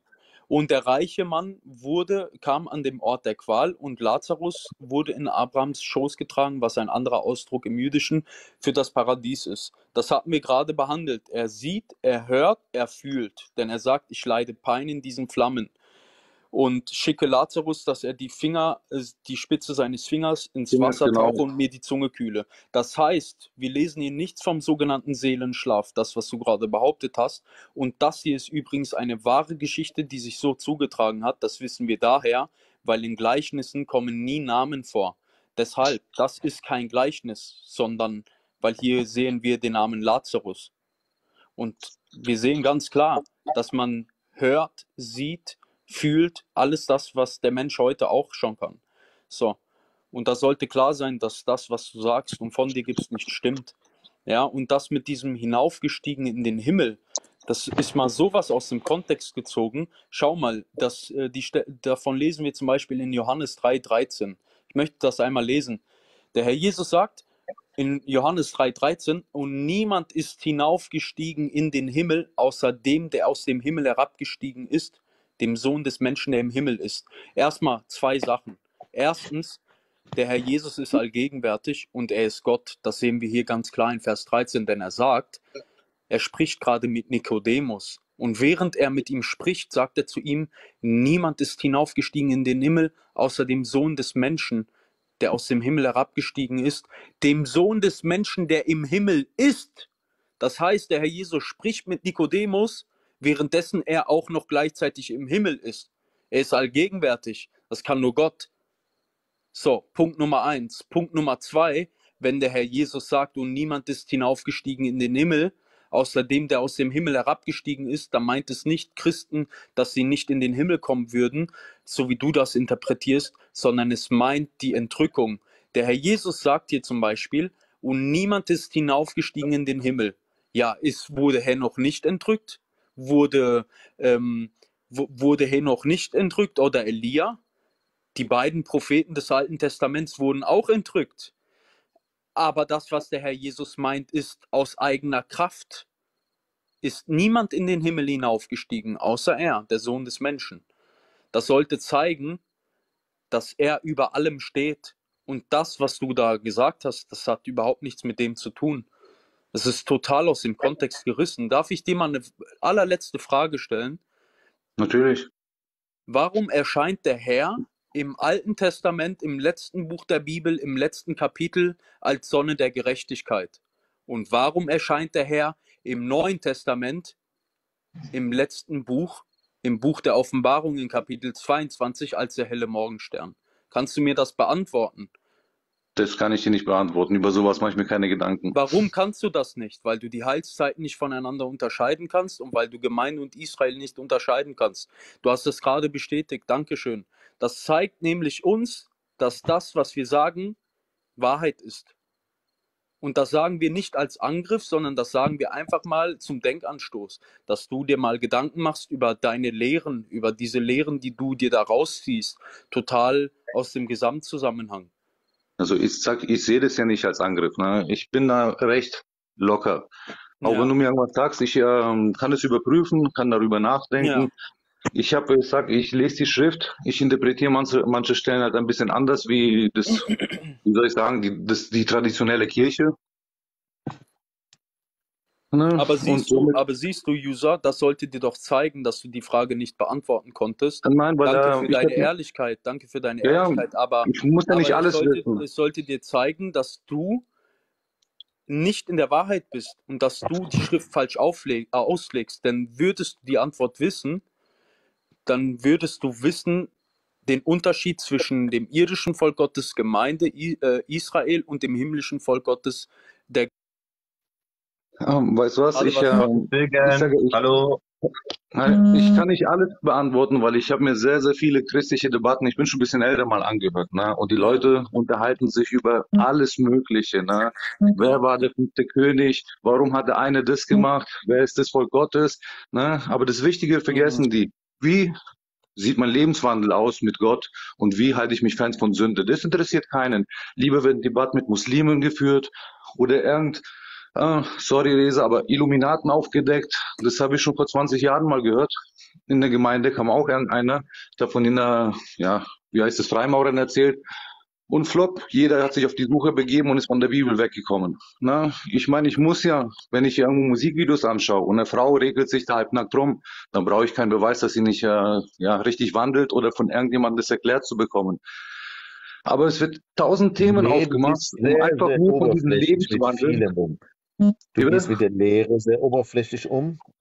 Was Du heißt so oberflächlich? Wenn da steht, wer mich liebt, der hält meine Gebote, ne? Und meine Gebote sind Ja, nicht aber das schwer. ist Und nicht ich alles. Wir haben noch 3000 weitere Seiten in der Bibel. naja, aber du musst dir mal so vorstellen, wenn ich das ganze Gesetz aus dem Alten nehme, ne? Die Hälfte gesteht mir nämlich nicht zu, weil erstens, es gibt Gesetze für Sklaven, es gibt Gesetze für Frauen, die brauche ich nicht zu halten. Ja, aber du Ne? siehst, das ist nicht so einfach. Du willst es dir sehr, sehr einfach Das machen, weil du priesterliche Gesetz ist auch nicht mehr gültig. Du bist, Da, bist du also man muss halt, man muss halt unterscheiden, man muss halt beide Evangelien mal nehmen, das Alte und das Neue, und mal lesen. Ich brauche mich auch nicht beschneiden lassen. Ja, aber hältst du den Sabbat? Also ich versuch's. Ja, siehst du, und deswegen bist du nicht wiedergeboren. Deswegen steckst du in tausenden Aber Irrlehren. wo, wo steht es, dass wenn du einen Sabbat hältst, nicht wiedergeboren bist? Und da steht eben, dass wenn sich jemand unter das Gesetz stellt, da musst du den Galaterbrief lesen. Da Ja, aber ich versuche doch nicht, da. ich versuche doch nicht durch den Sabbat gerettet zu werden. Ich mache das, Ja, dann brauchst du noch weil ich Gott gefallen will, weil ich ihn liebe, weil ich Ja, dankbar ihm bin, dass er mir das Leben geschenkt hat, dass er mich berufen oder berufen zu sich ja äh, gerufen hat. dass Apostelgeschichte ich- 20 sagt der Apostel Paulus, am ersten Tag der Woche, wo wir zusammenkommen im Gottesdienst, um Brot zu brechen. Und der erste Tag der Woche ist der Tag nach dem Sabbat. Gut, Bruder Günther, ich habe mal eine. Frage, ja? Ja, Ähm, ich höre ja immer wieder raus, dass die immer wieder sagen, ja, ich äh, halte den ja für mich selber, ne? ja. warum machen die dann nicht die anderen Gebote mit? Was macht man denn mit Zauberern und Hexen? Warum machen die das denn nicht auch noch für sich privat? So, wenn die jetzt einen Zauberer sehen. Warum halten Ja. sich da Darf ich, da- Warum, darf ich dazu was sagen? Es steht ja drin, eine. Zauber, eine Zauberin sollst du ja nicht am Leben lassen. Ne? Aber wenn du das Neue Testament liest, wer ohne so. Sünde ist, der schmeiße den ersten Stein. Wer bin ich denn, dass ich jemand anderes verurteile und einen Stein auf ihn Ja, wurde schmeiße? das Gesetz aufgelöst im Alten Testament? Ist das aufgelöst worden? Also ist, ist das aufgelöst worden? Also wenn Jesus wiederkommen würde, ne, dann würde das wahrscheinlich wieder umgesetzt werden. Weil in seinem Reich wird er keine Zauberin dulden. Ja, gehen. Gesetzlosigkeit wird er nicht dulden. Aber wir dürfen uns ja nicht anmaßen, irgendjemanden zu richten und zu töten. Das Gericht gehört dem Herrn alleine. Und wenn du dich zum Richter machst, ne, dann machst du dich zum Gesetzgeber und somit machst du dich zu Gott oder stellst dich über Gott. Nein, das Wort Gottes sein- regnet nicht. Du musst das Wort Gottes lesen, den Galaterbrief. Dann siehst du, wie scharf der Galaterbrief Leute äh, äh, unter Fluch stellt, die mit dem mosaischen Bund rum, rumfuchteln, rumwerken. User Okay, aus dem Bruder- Tage. Oder Stunde der Wahrheit, in Galater 3, ja, wer, und wer mit den Gesetzen werken rum, rumwirkt, der steht unter dem Fluch. Gut, es steht Aber auch das ist drin, dir aber, das die- ist dir aber egal, oder? Das ist dir aber egal. Weil Also irgendwie, wir ja sollen uns lieb haben, ne, oder? Das reicht schon, wenn wir uns lieb haben und so nicht jetzt rumhuren. Das reicht schon für dich als Errettung, ne? Für mich? Ja. Habt Hm, lieb aneinander, so, wir sollen uns lieb haben und nicht Sex haben. mit dem, mit Das dem ist dann Liebe, deine, deine, ne? das ist dann deine Lehre der Errettung. Nein, das stimmt ja gar nicht, weil die Liebe, von welcher Liebe reden wir? Ein Mann, der einen Mann liebt, der liebt ja auch den Mann und denkt, der macht nichts Gutes. Reden wir von der Liebe oder reden wir von der göttlichen Liebe? Nein, nein, dieses, dieses hab, hab einander lieb und hab nicht so viel Hurerei. Das reicht für dich dann. Ne? Das ist deine Lehre. Dann ist man errettet. Nein, das stimmt doch gar nicht. Hast du doch vorhin gesagt. Ich habe von Nein, nichts eine Ahnung. Ich sage ja nur, wenn man jetzt zum Jesus kommt und seine Gebote hält, dann ist man errettet. So einfach. Du kannst durch die Gebote nicht errettet werden. Du solltest aber so wandeln, wie Jesus gewandelt ist. Du stehst ja drin. Du sollst Aber- ja ihm nachfolgen. Du sollst ja ihn Ja, aber anziehen. der Herr Jesus war ja Jude, der hat sich ja unter das mosaische Gesetz gestellt und du hast doch gerade, hast du nicht zugehört, dass der Bruder dir das alles aufgeschlüsselt hat, dass wir das- nicht aber in der Israel Welt sind. ist es, hat sich ja aber das Gesetz, hat sich das Mose ausgedacht oder ist es das Gesetz von Gott? Hat Deswegen Gottes du ja die Bundeszeitalter fein säuberlich auseinanderhalten und nicht zusammenmischen. Denn das Gesetz am Sinai wurde dem Volk Israel gegeben und nicht der Gemeinde. Die Gemeinde hat nicht, hat nicht existiert. Ja, meine Meinung ist, wurde dem Volk Gottes gegeben. Deine Meinung, schau mal, mein lieber Und wir sind Freund. jetzt unter der, der sich jetzt zu dem Volk Gottes bekennt Du und redest die ganze Zeit von deiner Meinung, Ja. aber nur die Bibel hat recht, okay? Weil viele Menschen haben eine Meinung, nur die Bibel hat recht. Schau mal, das, das, das Problem ist ja schon, dass du, du sagst ja schon, dass du den Sabbat hältst. Also das heißt, diese Stunde, die wir schon miteinander reden, hast du nichts gelernt. Das möchtest du auch gar nicht. Aber jetzt, jetzt bin ich neugierig geworden. Hältst du wirklich den Sabbat? Weißt du was? Darf ich eine Gegenfrage stellen? Nee, ich möchte gerne, dass du mir erstmal antwortest auf die Frage und dann darfst du mir auch gerne eine Frage stellen. Nein, ich habe ja gesagt, ich, ver- ich versuche den Sabbat zu halten. Okay, arbeitest du sechs Tage die Woche oder fünf? Je nachdem, manchmal sechs, manchmal fünf, manchmal drei. Also an, siehst du. Also siehst du, du bist nicht konsequent mit dem Gebot des Herrn, was er dem Volk Israel gegeben hat, nicht dir, sondern dem Volk Israel. Denn in 2. Mose 20, so funktioniert das übrigens nicht mit dem Gesetz, was du machst. Einmal halte ich den Sabbat, äh, einmal sechs Tage arbeite ich und einmal drei Tage. Du bist schon, wie gesagt, du bist schon, äh, ähm, das Wort Gottes sagt ganz klar, so funktioniert das Gesetz nicht ja, sondern wer das Gesetz hält, der ist schuldig, das ganze Gesetz zu halten. Jakobusbrief in. Kapitel 2 lesen wir davon. So, und ja. jetzt lese ich dir mal 2. Mose 20 ab Vers 9. Hier heißt es nämlich, ab Vers 8, gedenke an den Sabbattag und heilige ihn. Vers 9, sechs Tage Tage sollst du sollst du arbeiten arbeiten und am siebten und Tag deine ist Werke Sabbat, tun. Tag Aber Herrn. Genau.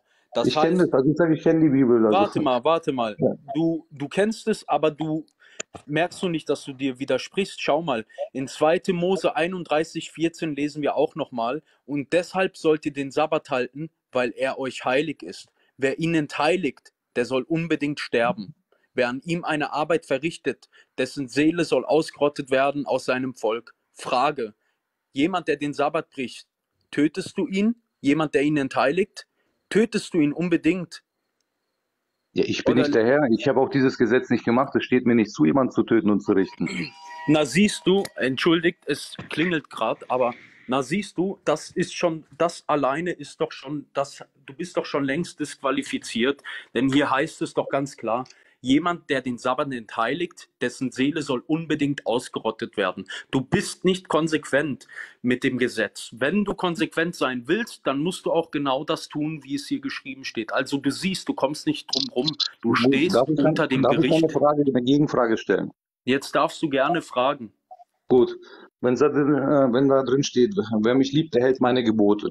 Welche Gebote denn? Pick ich mir dann welche raus, die ich halten kann, Nein, und die Die mir gefallen? Gebote- Oder welche, um welche geht es denn genau? die Gebote, die Gebote, die wir Oder welches denen, Gesetz schreibt auf unser Herz? die, Moment, die Gebote, von denen wir in den Lehrbriefen äh, lesen.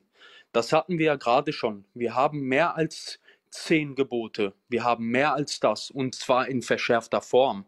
Aber wir halten diese Gebote nicht, weil wir meinen, dadurch gerettet oder gerecht werden äh, zu werden äh, vor Gott, weil die Schrift sagt ganz klar im Römerbrief, Galaterbrief, dass kein Mensch durch Werke des Gesetzes gerecht wird vor ihm, sondern wir halten es nämlich oder wir versuchen es zu halten, nämlich aus Liebe zu dem Herrn. Wir tun es, weil wir den Herrn lieben und weil wir gerettet sind. Übrigens sprechen diese Werke für den einen wahren Glauben. Ja, wenn du sagst, wenn du aber wie du, ich sage jetzt mal, wie es die meisten Menschen sagen, die das Gesetz halten, um gerecht zu werden vor Gott, da sagen wir ganz klar, nein, wir halten oder wir versuchen es zu halten im Heiligen Geist, nämlich weil wir gerettet sind und nicht weil wir gerettet werden durchs Gesetz. Das ist ein großer Unterschied. Und wenn du von den Gebo wenn, wenn du wenn du die Gebote wissen willst, dann habe ich dir gesagt, wir lesen von den Geboten in den neutestamentlichen Briefen. Genau das Gleiche sage ich auch. Ich halte ja die Gebote, um nicht äh, gerettet zu werden durch die, sondern Nein, aus du Liebe zu Gott. gesagt, Apostelgeschichte 20 sagt der Apostel Ach, Paulus. Okay, und äh, gut, dass du wir, das Thema ansprichst. Darf ich jetzt mal meine Sichtweise auf das mal sehen, weil die Stelle habe ich auch mal gelesen. Ne? Meine Genau. Meinung nach, genau, so wie ich die Stelle jetzt verstehe. Sie haben sich am ersten Tag getroffen, ist ja klar, weil vorher ne, war ja Sabbat. Am Sabbat ruht jeder.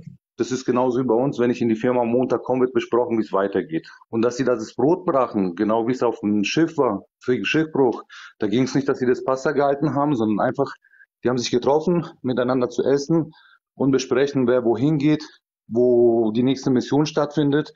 Da war jetzt nicht, dass sie irgendwo jetzt den Tag verschieben. Äh, wie, wie denn da? Du hast doch einen ganz klipp, äh, klipp und klaren Vers, dass die Apostel, die Gemeinde sich am ersten Tag getroffen, weil der Herr Jesus am ersten Tag auferstanden ist. Der Herr Ja, aber die haben sich ja nicht getroffen, um jetzt den Tag zu heiligen, weil die haben ja vorher schon den Sabbat gehalten, da haben die sich einfach Wann ist der Herr getroffen. Jesus auferstanden? Wann ist der Auferstehungstag des Herrn? Am, Am Sabbat Sonntag. oder am, am wann? Am Sonntag. Da hast du es doch.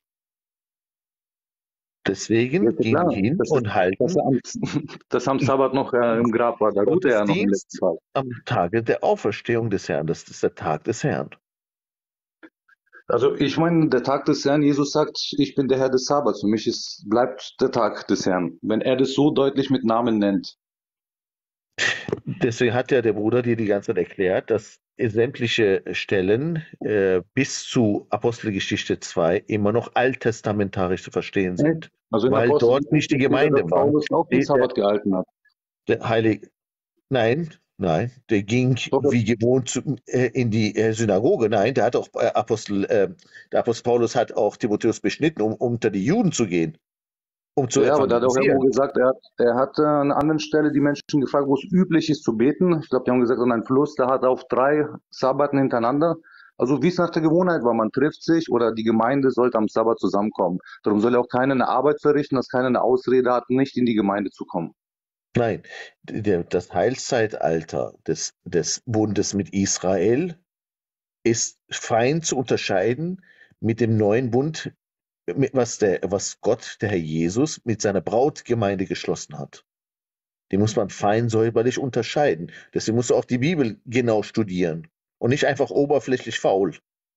Gut, was ist denn da mit der Stelle, wo steht da in der Endzeit, ne? Wir sollen beten, dass unsere Flucht nicht am Sabbat oder im Winter ist. Das Ich meine, wenn er abgeschafft ist, warum sollen wir dann da beten für die Endzeit? Das Matthäus ist dann nicht am 24 Sabbat betrifft wieder nicht die Ge- Gemeinde, weil die Gemeinde schon entrückt Okay. ist. Das betrifft wiederum, äh, das betrifft wiederum Israel, die durch die Drangsal geht. Die Gemeinde wird vor der Drangsal entrückt. Das musst du auch unterscheiden.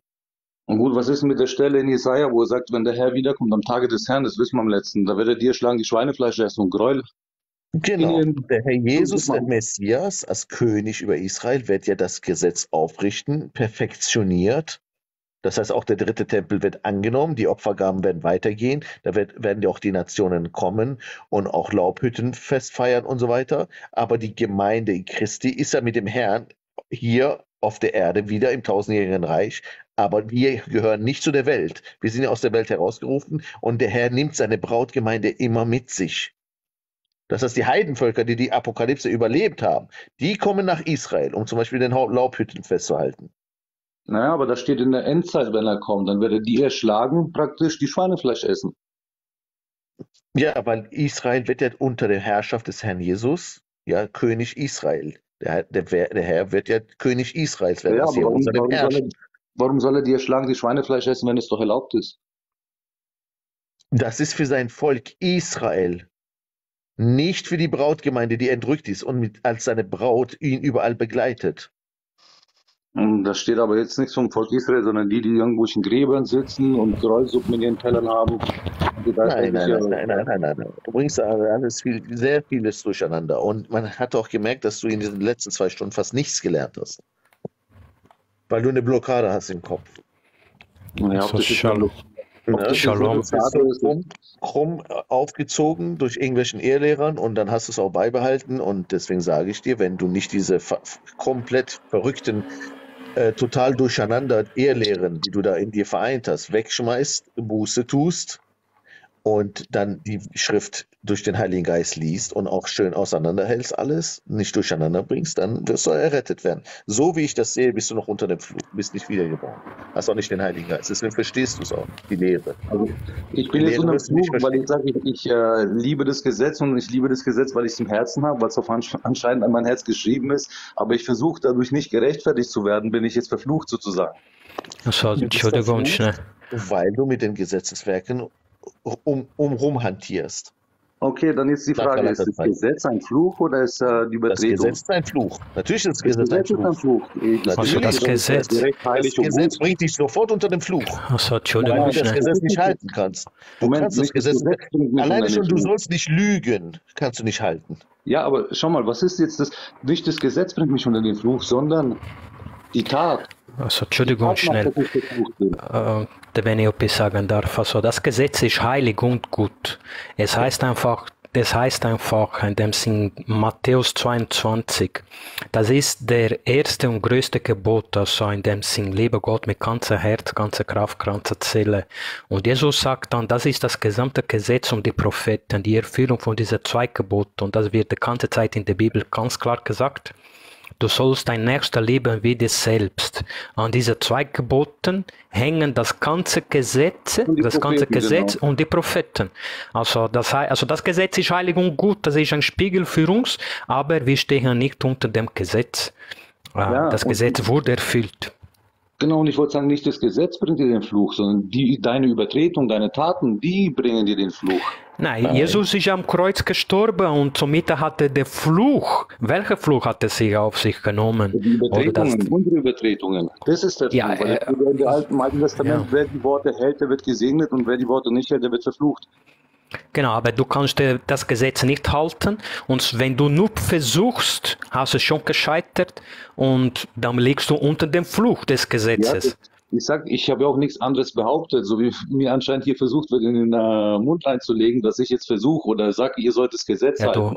du, du willst ja Schabbat halten, das kannst du nicht. Nur wenn du, nur wenn du daran denkst, ich will jetzt Schabbat halten, um Gott zu gefallen, dann bist du schon gefallen. Dann, dann bist du unter dem Fluch. Galater Du kannst 3, es nicht. 13, Ja, Christus hat uns losgekauft von dem Fluch des Gesetzes. Ja, aber das Gesetz ist ja nicht der Fluch sondern die Übertretung. Und wenn ich jetzt Nein, das sowas, kann, wenn ich jetzt sowas höre, den wenn ich jetzt versuche, den Sabbat zu halten, halten kannst. Aber was, Moment. weißt du überhaupt, was Schabbat bedeutet? Gut, Was bedeutet Schabbat? Ich versuche jetzt den Schabbat zu halten und bin jetzt aus der Gnade gefallen. Ne? Das Aber wenn was ich ist- was bedeutet Schabbat? Bin ich jetzt aus der Gnade gefallen oder wenn ich versuche jetzt die Ehe nicht zu brechen, bin ich jetzt aus der Gnade gefallen? Liebe dein Nächster wie dich selbst. Das ist das Genau. gesamte Gesetz und die Propheten. Wenn du nicht, Ehe, nicht willst, dass deine Frau die Ehe bricht, dann brichst du die Ehe auch nicht. Das ist Liebe dein Nächster wie dich selbst. Was das Schabbat angeht, ist etwas anderes. Oder? Also das Das Schabbat, ist die Liebe zu Gott. ja, das aber die Liebe zu Gott, okay. Aber wenn Genau, ich Jesus, sag, liebe, wie du gesagt hast, liebe Gott vom ganzen Herzen, Genau. missbrauch seinen Namen nicht, halte seinen heiligen Tag. Und Aber vorher hast du gesagt-. Genau, aber vorher hast du gesagt, du versuchst, äh, du hast vorher gesagt, also in dem Sinn, Jesus hat gesagt, wer mich liebt, hält meine Gebote. Oder? Genau. Genau, und Jesus hat gesagt, ich gebe euch zwei Gebote. Liebe Gott mit ganzer Herz, ganzer Kraft, ganzer Seele und liebe dein Nächster wie dich selbst. An diese zwei Gebote hängen das ganze Gesetz und die Propheten. Und dann kommst du und sagst, ja, egal was Jesus gesagt hat, ich will jetzt einfach Schabbat halten und damit ich Gott gefallen tue. Und die Apostel sagen dann, wenn du nur versuchst, hast du schon gescheitert. Weißt du? Nur, nur wenn du versuchst, hast du schon versaut. Ich will ja alles halten, weil du sollst ja eigentlich an deinem Lebenswandel, sollen die anderen ja sehen, dass du anders bist wie die anderen. Genau, in diese Du zwei sollst Gebote, deine in dein Nächster zu lieben. Wie, die steht, ne, der Glaube ohne Werke ist nichts. Ne? Und wenn die Leute sehen, wisst ihr was, jetzt mal so Aber Sache, welche Werke, welche alles- Werke ist da gemeint? Welche Werke? Das ist nicht der Werke Nein, des also- Gesetzes, also- sondern das ist der Werk des Geistes. Wenn du glaubst, dann lässt du irgendwann taufen, dann liebe dein Nächster wie dich selbst. Du probierst andere Menschen zu helfen, du betest, du evangelisierst. Das ist äh, der Werk des Geistes. Oder genau gleich, ein, ein Glaube ohne Werk ist tot. Ja, okay, aber um was geht es hier? Da kannst du nicht kommen und sagen, hier geht es darum, Schabbat zu halten. Das ist jetzt Oder? wieder, wisst ihr was, das ist jetzt mal so eine Sache, ne? nur weil ich einmal was erwähnt habe, ist es so, jetzt ist nur noch der Sabbat ein Thema. Du sagst ja, die anderen Sachen sind genauso wichtig. Und ich muss sagen, seitdem ich angefangen habe, das Gesetz zu halten, nicht, dass ich gerechtfertigt werde. Eben, wisst gar nicht, das ist schon die ich. Wie viel Anfeindung ich von der Welt bekomme. Ne, Keine Eltern Anfeindung. wie, Du kannst Weihnachten, du feierst nicht, warum denn nicht? Es ist doch ein christliches Fest. Oder wegen dem Sabbat, du bist ein Judaisierer. Wenn ich kein Schweinefleisch esse oder keine Meeresfrüchte oder Muscheln, bist du jetzt Moslem geworden.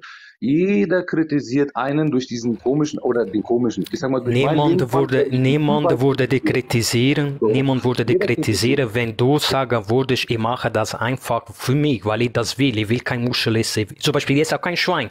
Aber das ist auch eine Sache, die ich will. Ich will kein Schwein essen. Das, ich esse nicht Schweinefleisch und sage, ja, ich, in dem Sinn halte Schabbat und Gott sagt, äh, im Alten Testament steht, ich soll kein Schweinefleisch essen.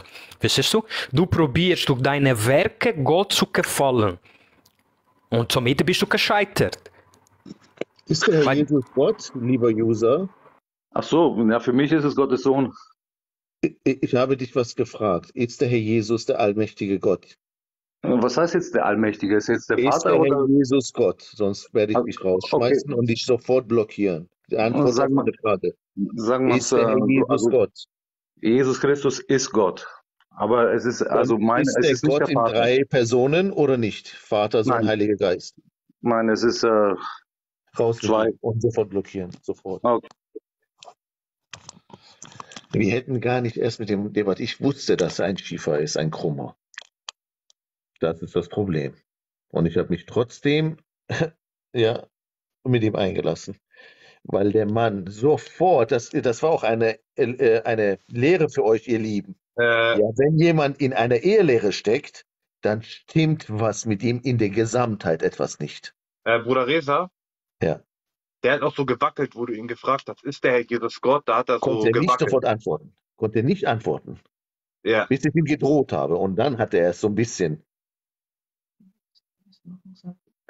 Ja, Ähm, das ist das. Wenn eine Ehelehre kommt, sie kommt nicht, sie kommt nicht äh, alleine, eine Ehelehre. Da stimmt irgendwas nicht mit den Leuten. Und wenn die Diskutiererei losgeht, wo man die Lehre kennt und die Leute um diese Lehre herum philosophieren und die Lehre verleugnen und abschweifen und tausende verschiedene Dinge durcheinander schmeißen, mit diesen Leuten stimmt etwas nicht. Gewaltiges nicht. ja, das sind Wölfe in Schafspelz. Ja, ich wollte nur. Ihm ging auch nichts durchlesen. Die ganze Zeit, das war so eine Blockade in ihm. Der hat das gar nicht aufgenommen, der hat das Ja, gar nicht ja, gefühlt. ja, ja. Da war einfach eine Blockade in ihm drin. Das war Ja. bei ihm ja, nein, raus, rein, so, ne? ja. Man kommt gar nicht weiter an solche Leute. Man müsste eigentlich, ja, das ist Pferde vor die Säule, ne? Ja, der meinte auch am Anfang mit deiner Illuminati-Arbeit und so, das brauchen wir alles nicht. Ja, Ich wusste ja, sofort, wenn jemand mich angreift und meine, meine, meine Arbeit. Sofort wusste ich, irgendwas stimmt nicht mit diesen Leuten. ja. Und dann noch das, das, das, das, tausende Sachen. Und erst zum Schluss bin ich da auf die Idee gekommen, oh, warte mal, das ist vielleicht ein richtiger äh, äh, Antichrist. Weil so viele Ehelehrer, da kann er auch nicht das andere richtig bejahen, die Grundlage.